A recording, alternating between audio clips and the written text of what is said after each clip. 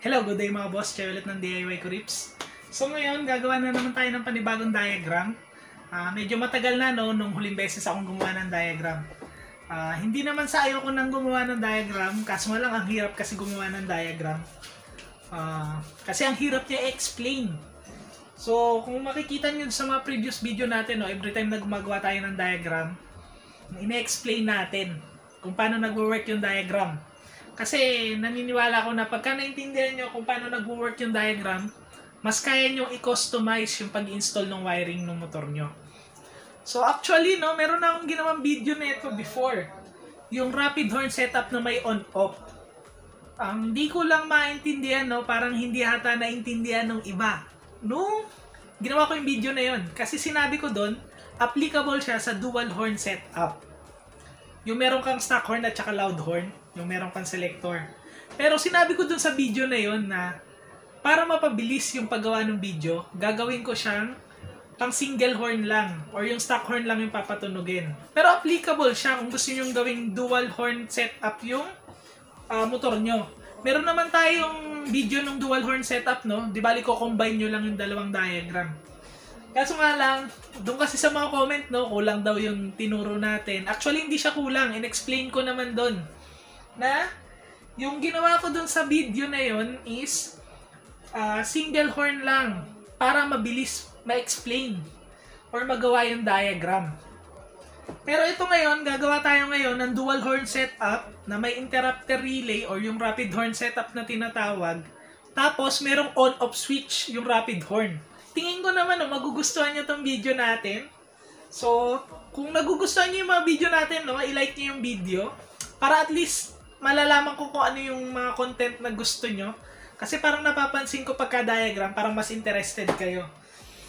Tapos, uh, kagaya nung sinabi ko sa previous video ko, do sa mga nagre-request ng mga iba pang video diagram, uh, ina-assess ko muna yung mga video diagram kung marami matutulungan o hindi pa ganun karami yung nagkaka-interest doon, baka hindi ko muna gawin. Pero kung marami yung nagkaka-interest, gagawa natin ng video tutorial yun. So, hindi ko na papatagalin to, no? Sisimulan na natin tong video na to. Di bali, ito na yung diagram natin, no? Meron tayong battery, meron tayong fuse, meron tayong relay, may diode tayo, meron tayong interrupter relay. Di bali, ito yung nagra-rapid horn dun sa busina natin, itong interrupter relay. Tapos, meron tayong halo switch, dalawa. Ito, pang on-off netong interrupter relay natin. Ito naman, switching nung stock horn sa loud horn.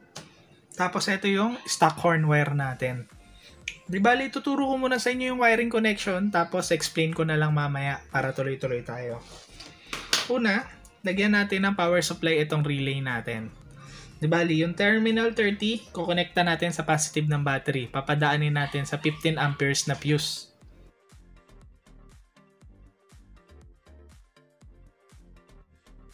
Tapos, Itong negative ba, terminal naman ng battery natin, magpapagapang tayo ng uh, negative wire.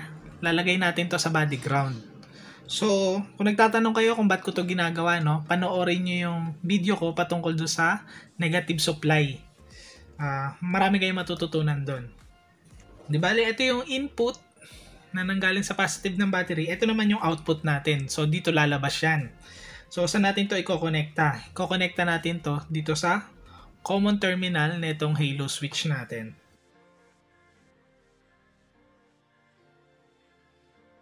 Di bali, meron na tayong common terminal. Di bali, ang mangyayari, from the battery, pupunta sa relay, ang output niya papunta dito, tapos papunta dito. So, yung Halo switch natin, pagka hindi nyo pa pinipindot yun, ang connection nito, itong common terminal, dito yan, sa NC, dun sa normally close. So pagka hindi nyo pa siya pinipindot, connected na agad tong dalawa. Itong common, pati itong normally close. So ito i-connecta natin dito sa stock horn natin.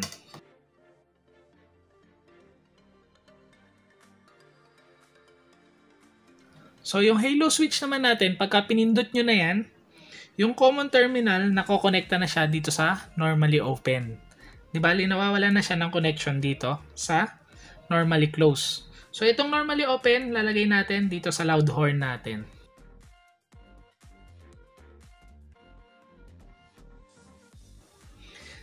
Di bali yung halo switch, lima yung terminal niyan.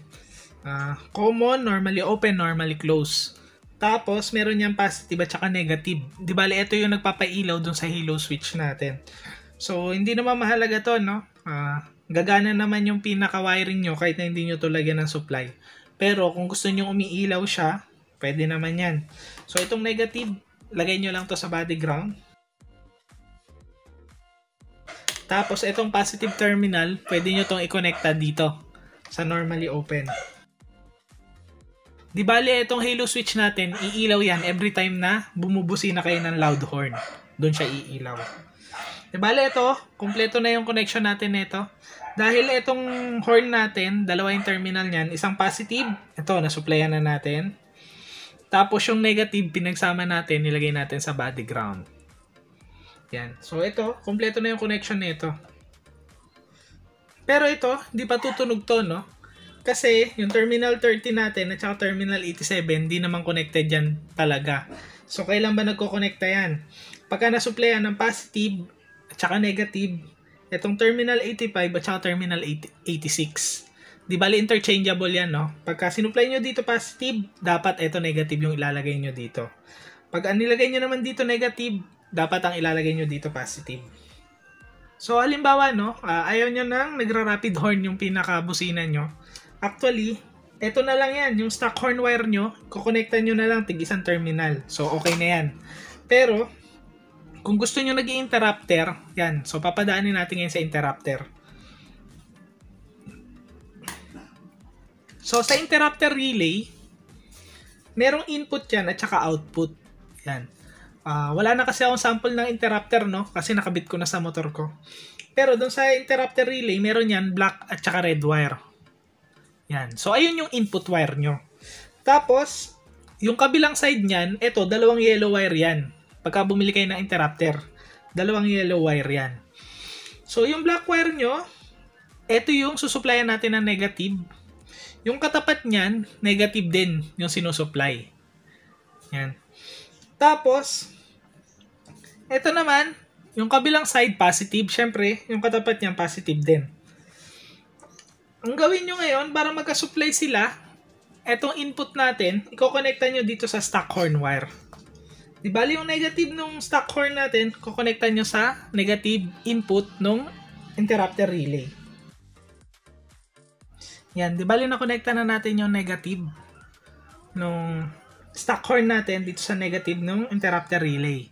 So yung output niyan, lalagay natin dito sa terminal 86. Sa terminal 86 siya. Di bali meron na tayong negative supply. So ang kailangan naman natin ngayon is positive supply. Ito naman, yung positive ng stock horn wire natin, iko-connecta natin dito sa may common ng halo switch. Etong normally close, iko-connecta natin dito sa terminal 85.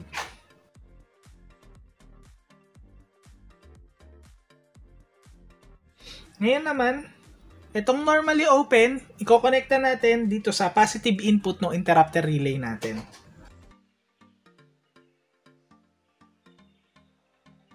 Tapos, itong positive output ng interrupter relay natin, papadaanin muna natin ang diode bago natin uh, i-connecta dito sa terminal 85. Tapos, kung gusto nyo umiilaw tong halo switch nyo, yung negative, lagay nyo lang ulit yan sa body ground. So, ito naman yung positive, kukonekta na natin dito sa normally open. Yan, tapos na yung pinaka-wiring natin, no? Ah, uh, subukan ko explain sa inyo kung paano nagwo-work to. Una, meron tayong positive from the battery, pinadaan natin sa 15 amperes na fuse na kinonekta natin sa terminal 13 nitong uh, relay natin. So, para mangyari, ito yung input, ito naman yung output natin, yung terminal 87. Ang problema lang, hindi connected tong dalawang to. Nagko-connect lang yan pagka nagkaroon tayo ng positive supply at saka negative supply dito sa terminal 85 at saka terminal 86. Interchangeable yan. Kung ito is negative yung nilagay nyo, positive yung ilagay nyo dito. Kung positive yung nilagay nyo dito, negative yung nilagay nyo dito. So, basta masupplyan yan ng sabay, magkoconnecta na yung terminal 30 dito sa terminal 87. Masusuplayan ngayon yung halo switch natin. Yan. Dahil meron ng supply itong common natin, halimbawa, uh, hindi nyo pa pinipindot yung halo switch nyo. So, kagaya ng sinabi ko kanina, yung common terminal connected yan dito sa normally close. Close nga sila eh, oh. Nakaganyan. Close circuit. So, pagka hindi nyo pa siya pinipindot, ito ang connected. Yung common terminal, pati itong normally close. So, ang mangyayari ngayon, tutunog yung stock horn nyo. Kasi meron ka ng positive supply, meron ka negative supply, tutunog yung stock horn mo. Halimbawa naman, uh, pinindot mo na itong halo switch mo. So, malilipat na siya. Yung common terminal natin, makukonekta na dito sa normally open na terminal. So, mawawala na yung connection niya dito sa normally close. So, ang masusuplayan ng positive is itong loud horn natin. Tutunog na rin yan kasi meron kang positive supply, meron kang negative supply. Yon. So, ngayon, explain ko naman no, kung paano tayo magkakaroon ng positive at saka negative supply. Uh, Siyempre, dito tayo kukuha sa stock horn wire. Explain ko lang sa inyo yung stock horn wire ng NMAX. Sa stock horn wire ng NMAX, once na inon mo yung susian mo, all the time may positive na agad yan. Meron nang gumagapang na positive. Yung negative mo, ayun yung wala. So, kailan nagkakaroon ng negative supply yan? Pagka pinindot mo yung pinakabusina mo. Doon lang yan nagkakaroon ng negative. So, yung positive terminal ng stock horn wire natin, kinonekta natin sa common terminal ng halo switch. So, pagka hindi nyo pa pinipindot yung halo switch nyo, itong common connected dito. Yan, sa normally close. So, ito, meron na agad uh, positive supply. So, ang kulang na lang natin is yung negative supply. So, yung stock horn wire naman natin na negative, pinadaan natin ng interrupter relay. Tapos, uh, lumabas dito, papunta naman siya dito. So, kagaya ng sinabi ko kanina, walang supply to, no? Walang supply. Pagka pinindot nyo na yung horn nyo, doon lang magkakasupply yan. So ngayon, tutunog yung pinakabusina nyo. Yan. Kasi meron ka ng positive supply. Pagka pinindot mo yung uh, horn mo, magkakaroon ka na ng negative supply. So, tutunog na yung busina mo. Kasi nakumpleto na yung circuit, may positive ka, may negative ka. Yung terminal 30, makokonekta na sa terminal 87, gagapang papunta dito sa halo switch. So kayo nang bahala kung pinindot nyo ba yung halo switch nyo or hindi. Pagka hindi nakapindot, ito yung tutunog. Pagka nakapindot yung halo switch nyo, ito yung tutunog. So, uh, normal na tunog lang yon Normal na tunog.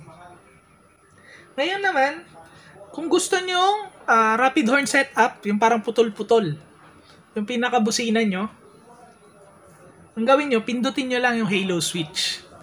Kasi yung positive natin, nakakonekta sa common terminal. Dahil pinindot nyo na siya, yung pinaka-yellow switch, yung common terminal makukonekta sa normally open. Yung normally open natin, pinadaan natin dito sa interrupter. Yan. Ngayon, na pinadaan natin sa diode. So, for safety lang to, no, kaya natin nilagyan ng diode. Hindi ko kasi alam kung may built-in diode itong interrupter. So, maglagay kayo ng diode. Itong diode dapat, yung merong kulay, nandito nakatutok sa terminal ng relay. Yan. Yan, no? Ngayon, meron na tayong positive, no? Kaso nga lang, eto kasing interrupter relay natin, hindi ito nagbubuga ng positive. So, pagpasok ng positive dito, nakastack lang ang positive dito. Nahihinto lang siya dyan. Unlike dito sa negative, pagpasok ng negative dito, ito tuloy-tuloy lang. Tumatagos na agad. So, kailan lalabas yung positive supply dito. Pagkasabay na nagkaroon ng positive supply ito, at saka negative supply ito. So, halimbawa, pinindot nyo na yung horn nyo, since na meron na tayong positive, kulang na lang tayo ng negative, pinindot nyo na yung horn nyo, magkakaroon na rin tayo ng negative. So, ngayon, gagana na yung interrupter relay natin. Ang, nil ang nilalabas kasi nito, no, putol-putol na positive supply. Pag ganyan-ganyan siya, no, yan. Kaya ngayon, yung supply natin dito, putol-putol din. Meron, wala, meron, wala, meron, wala. Ganon. So, kaya nagra-rapid horn setup yung pinakabusina natin. So, di ko alam no kung na-explain ko sa inyo na maayos to. Ah, uh, medyo nahihirapan kasi akong i-explain pagka may patungkol na sa interrupter relay. Kasi hindi ko alam kung maintindihan ng iba kung paano nag-work tong interrupter relay. Kasi ang interrupter relay, pagka sinuplayan mo ng negative to, dire-diretso lang ang negative. Pumapasok na agad. Pagka ito naman, sinuplayan mo ng positive tong interrupter relay, yung positive kasi, nakastack lang dito. Para siya makalabas, kailangan sabay na merong positive, merong negative. Tsaka lang lalabas yung positive dito. Tapos yung positive nito, putol-putol. Unlike dito sa negative supply, pagka nilagyan mo ng negative to, kahit na wala kayong nilalagay na positive, ito, tumatagos to dire-diretso. Yun. So, hindi ko alam, no? Kung medyo magigets nyo kung paano nag-work tong interrupter relay. Pero, ito na yung pinaka-diagram, no? Para doon sa mga madalas na nagtatanong na paano i-wiring yung dual contact horn na merong interrupter relay na merong on-off switch. Hopefully, naintindihan nyo yung explanation natin, no? Tapusin ko na tong video na to. Ride safe!